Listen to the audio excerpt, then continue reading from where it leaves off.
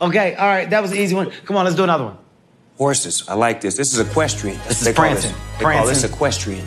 By the way, look at that horse. Did you? Oh, the horse crip walking, cuz. You see that? On the set. That's gangsters of up. Hey! Oh. oh, cuz.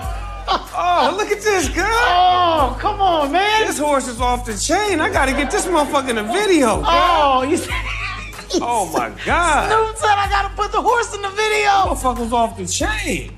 I need that. Horse crip walking is officially in the Olympics. Man, you see that? Play it one more time, man. Gotta see that. That intro it- walk was Play it one more time. Play, play it one more time so we can see it. Oh, West Coast. By the way, how did the horses get to Tokyo? What airline was it? Emirates. They fly That's the horses. Expensive. They fly the horses on Emirates. And the athletes on Southwest? You know the problem is getting bigger and bigger and bigger. Do the horses get medals when they win too, or, or they don't get medals? That's a good question, Snoop. I've never seen a horse with a medal. Do they? No, it goes to the person on the horse. which should be changed?